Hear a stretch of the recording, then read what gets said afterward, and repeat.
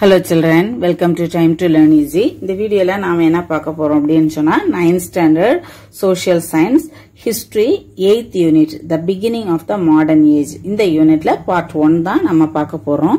So நம்ம வீடியோக்குள்ளாடி போயிடுவோம் introduction பார்ப்போம்.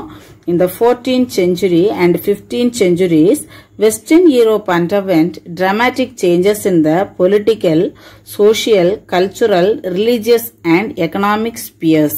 அதாவது பதினாலு பதினஞ்சாவது நூற்றாண்டுகளில் வெஸ்டர்ன் யூரோப் அப்படின்னு சொல்றது என்னது?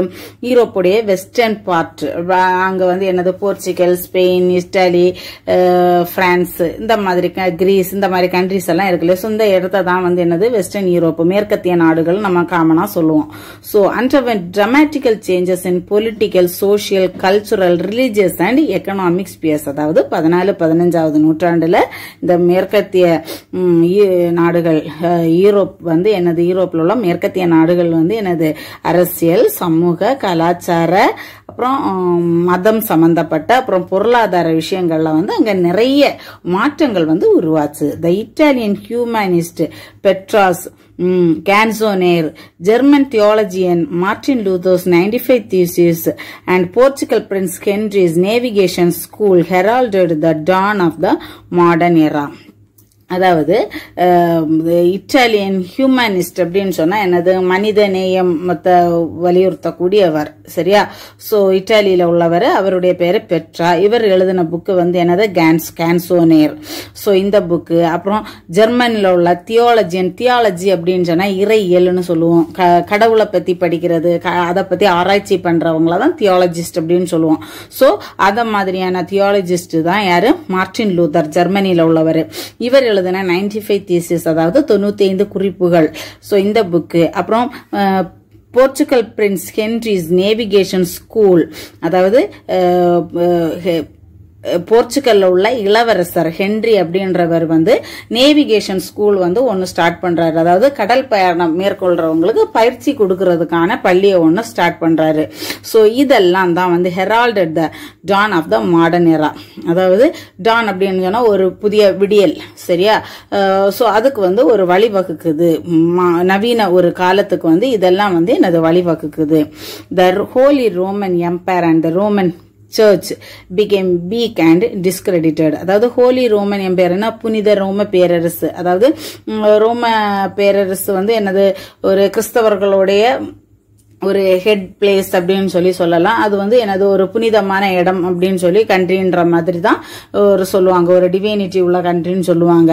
So and Roman church Roman சர்ச்ன்றது தான் எனது ஆர்சி கிறிஸ்டியன்ஸ் அப்படின்னு சொல்லி நீங்கள் கேள்விப்பட்டிருப்பீங்க இல்லையா? அது ரோமன் கேத்தலிக் பீப்புள் ஸோ வந்து எனது அதுதான் வந்து எனது ஃபர்ஸ்ட் ஃபர்ஸ்ட் இருந்ததும் அதுதான். Head head head of the Christians அப்படின்னு சொல்றது எனது அந்த பிளேஸ் தான்.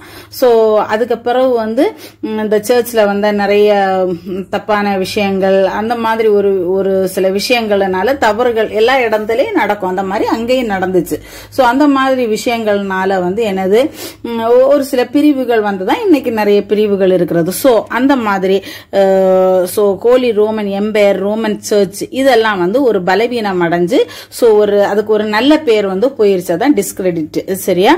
In their place nation states new churches and emphasized uh, that emphasized individual faith and a commercial revolution based on mercantilism emerged so அப்போ அது அந்த ஹோலி ரோமன் இதுக்கு இருந்த அந்த முக்கியத்துவம் இருந்துச்சு இல்லையா? ஸோ அந்த இடத்துல புதுசா என்ன உருவாகுது?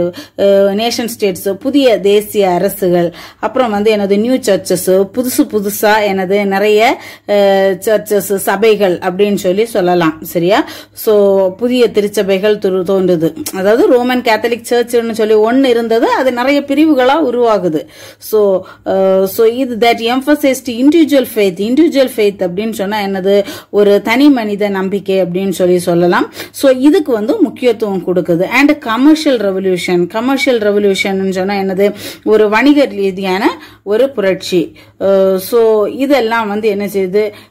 பேஸ்ட் ஆன் மெர்சாண்டலிசம் எமர்ஜ் அதாவது மெர்சாண்டலிசம் அப்படின்னு சொன்னால் என்னது?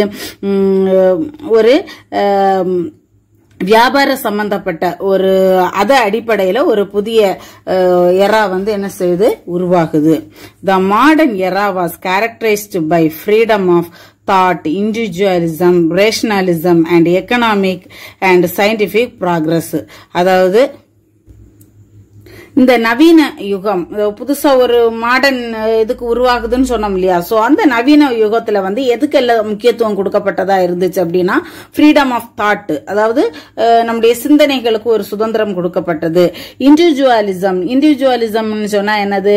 ஒரு தனி நப நபருக்கு வந்து என்னது?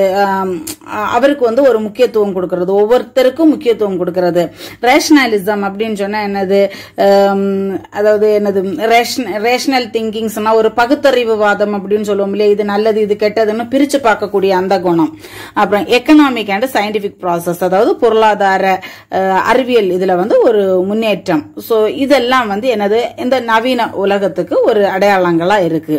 In this lesson let look at the changes ushered in the in by the renaissance reformation and geographical uh, discoveries அதாவது இந்த யூனிட்ல வந்து நம்ம என்ன படிக்க போறோம் அப்படின்னு சொன்னா ரெனேசன்ஸ் ரெனேசன்ஸ்னா மறுமலர்ச்சி.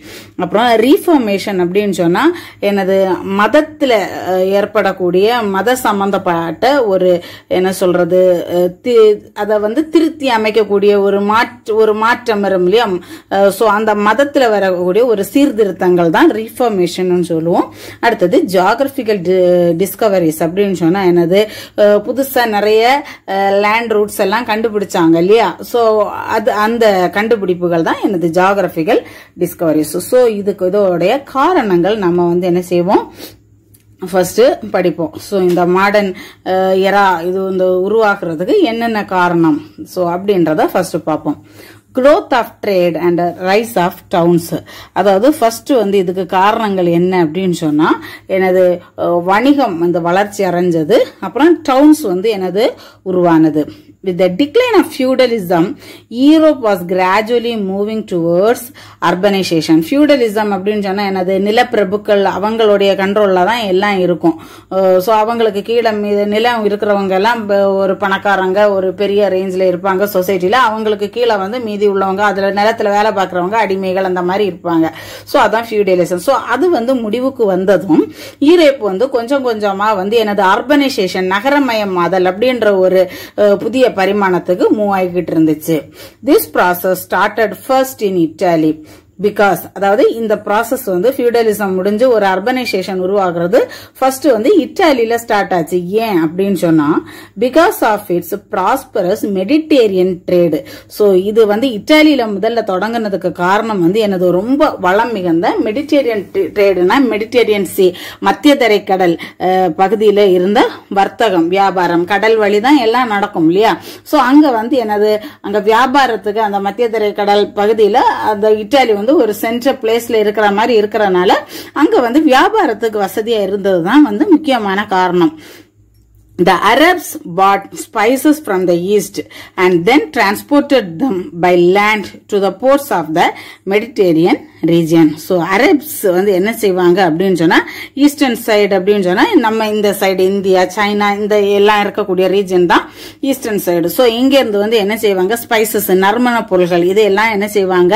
கொண்டு வருவாங்க. வந்து என்ன செய்வாங்க? அதை வந்து இந்த மெடிடேரியன் சி இந்த ரீஜியனில் இருக்கக்கூடிய துறைமுகங்களில் வந்து கொண்டு வந்து என்ன செய்வாங்க? லேண்ட் வழியாக ஒவ்வொரு கண்ட்ரீஸுக்கும் வந்து என்னது அனுப்பி வைப்பாங்க. ஸோ அந்த மெடிடேரியன் சீரி சீக்கு தான் அங்கே வந்து ரீச் ஆகும். இங்கே இருக்கக்கூடிய துறைமுகங்களில் தான் வந்து ரீச் ஆகும். The Italian city state such as Venice and Genoa profited immensely from this trade so வந்து எனது ஸோ இந்த இட்டாலியில வந்து இந்த மெடிடேரியன் சி ரீஜியன்ல இருக்கக்கூடிய முக்கியமான நகரங்கள் என்னது அப்படின்னு சொன்னா வெனிஸ் ஜெனோயா ஸோ இந்த ரெண்டு நகரங்களும் வந்து என்னது இந்த ட்ரேடு மூலமா இந்திய வியாபாரத்தின் மூலமா இவங்களுக்கு நல்ல வருமானம் கிடைச்சிச்சு. Following the expansion of trade, a strong network of banking and financial institutions too developed in Italy அதாவது எனது இந்த ட்ரேடு வியாபாரம் வந்து விரிவடைஞ்சதோட என்ன செய்யுது பெரிய அளவுக்கு வந்து எனது பேங்க் பேங்கிங் ஃபெசிலிட்டிஸ் அப்புறம் ஃபினான்சியல் இன்ஸ்டிடியூஷன்ஸ் இந்த நிதி செய்யக்கூடிய உதவி செய்யக்கூடிய நிறுவனங்கள் நிறைய எல்லாம் என்ன செய்யுது இத்தாலியில உருவாகுது. In this context new ideas leading to renaissance reformation and exploration through sea voyages where one so இதுக்கு கூட இந்த மாதிரி ட்ரேடு மூலமா நிறைய விஷயங்கள் டெவலப் ஆகிட்டு இருக்கக்கூடிய இடத்துல புதிய சிந்தனைகள் உருவாகுது. ஸோ அந்த ச- என்னது இந்த புதிய சிந்தனைகள்னால என்னென்ன உருவாகுது அப்படின்னு சொன்னா ரினேசன்ஸ் மறுமலர்ச்சி ரீஃபார்மேஷன்ஸ் அதாவது மத சீர்திருத்தம். அப்புறம் வந்து எனது எக்ஸ்பிளரேஷன் த்ரூ சி வாயேஜஸ் வேர்பான் அதாவது கடல் பயணங்கள் மூலமா புதுசு புதுசு புதிய புதிய நிலங்களை வந்து கண்டுபிடிக்கக்கூடியது. இதெல்லாம் வந்து என்ன செய்யுது கண்டுபிடிக்கிறதுக்கான ஒரு ஆய்வு பயணங்கள் மேற்கொள்றது. இதெல்லாம் வந்து என்ன செய்யுது உருவாகுது. ஸோ இதை தான் வந்து எனது இன்வென்ஷன் ஆஃப் பிரிண்டிங் ஸோ இந்த இன்வென்ஷன் ஆஃப் பிரிண்டிங்கையும் நம்ம இந்த வீடியோவிலேயே சேர்த்து பார்ப்போம். ஒரு டூ மார்க் கொஸ்டின் இதுக்குள்ள இருக்கு. இன்வென்ஷன் ஆஃப் பிரிண்டிங் பிரிண்டிங் அப்படின்னு சொன்னால் எனது அச்சு எந்திரம். அச்சு எந்திரத்தோடைய கண்டுபிடிப்பு. The invention of the printing press accelerated the process of modernisation அதாவது இந்த அச்சு எந்திரத்தோடைய கண்டுபிடிப்பு ஆக்சிலரேஷன் அப்படின்னு சொல்ற என்னது? ஒரு ஸ்பீடப் பண்ணக்கூடியது. சரியா? ஸோ இந்த மாடர்னைசேஷன் நவீனமயமாகறத பத்தி தானே நம்ம பார்க்குறோம். ஸோ இது வந்து இன்னும் வந்து கொஞ்சம் ஸ்பீடப் ஆகுது. Earlier, manuscripts were written by hand on animal skin called வெல்லம் அதாவது முன்னாடி வந்து என்னது அப்படின்னு சொன்னா வெல்லம் அப்படின்னு சொல்லி சொல்லக்கூடிய எனது அனிமலோடைய தோலுக்கு மேலதான் வந்து எனது கையால எழுதப்பட்ட எழுத்துக்கள் தான் இந்த இது விஷயங்கள் தான் வந்து எனது யூஸ் பண்ணிக்கிட்டு இருந்தாங்க. Only the privileged few could access them அதுவும் வந்து என்னது எல்லாராலையும் அதை வந்து என்ன செய்ய முடியாது யூஸ் பண்ண முடியாது. ஒரு ப்ரிவிலேஜ்னா ஒரு சிறப்பு உரிமை பெற்றவங்க ரொம்ப அந்தஸ்தில் இருக்கிறவங்க நல்ல வசதியானவங்க உயர்ந்த அந்த ஆட்கள் மட்டும்தான் என்ன செய்ய முடியும். அதை வந்து யூஸ் பண்ண முடியும் வாங்கி வந்து படிக்க முடியும். என்ன விஷயங்கள் அப்படி இந்த ரிட்டன் டாக்குமெண்ட்ஸ் அந்த மாதிரி எந்த விஷயங்கள் இருந்தாலும் ஒரு புக் மாதிரி இருந்தாலும் எதுனாலும் என்ன அச்சு எழுத்து பிரதிகளாக இருக்கக்கூடிய எந்த விஷயங்கள்னாலும் அவங்க ஒரு ஹை சொசைட்டியில் ஹை கிளாஸ்ல இருக்கிறவங்க மட்டும்தான் அதை யூஸ் பண்ண முடியும் வாங்கி படிக்க முடியும்.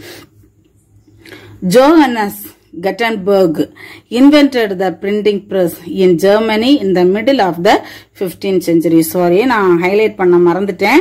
எனது பிரிண்டிங் பிரஸ்ஸை வந்து ஜெர்மனியில வந்து இன்ட்ரடியூஸ் பண்ணவர் யாரு அப்படின்னா ஜோகனஸ் கட்டன்பர்க் இவர் தான் வந்து என்ன செய்யறாரு 15th செஞ்சுரியோடைய மிடில் வந்து பிரிண்டிங் பிரஸ்ஸை வந்து இன்ட்ரடியூஸ் பண்றாரு.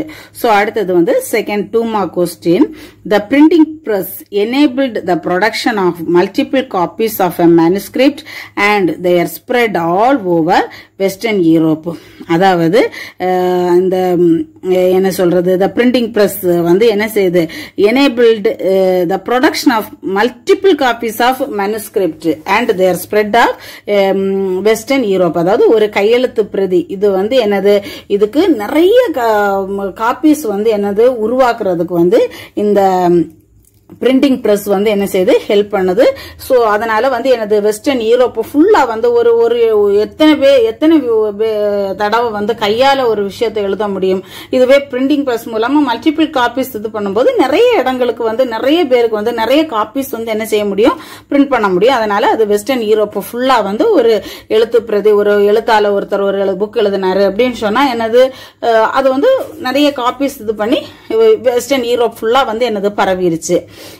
In less than 50 years after the invention of the Gutenberg printing press, about 6 million books had been printed. So, Gutenberg வந்து printing press கண்டுபிடிச்ச 50 வருஷம் ஆகிறதுக்கு முன்னாடியே கிட்டத்தட்ட ஆறு மில்லியன் புக்ஸ் வந்து என்ன செய்யப்பட்டது? Print அடிக்கப்பட்டுச்சு. The invention of printing press not only spread knowledge widely but also promoted critical thinking so இந்த பிரிண்டிங் பிரஸ் வந்து இன்வென்ட் பண்ணினதுனால நிறைய புக்ஸ் எல்லாம் வந்து எனது எல்லாருக்கும் படிக்கிற மாதிரி கிடைச்சிது. ஸோ அதனால அவங்களுடைய நாலேஜ் மட்டும் இம்ப்ரூவ் ஆகலை. கிரிட்டிக்கல் திங்கிங் இது ஏன் எதுக்கு அப்படின்னு சொல்லி ஒரு விமர் விமர்சனம் பண்ணக்கூடிய அந்த ஒரு விஷயமும் என்ன செய்து உருவாச்சுது வளர்ந்துச்சு.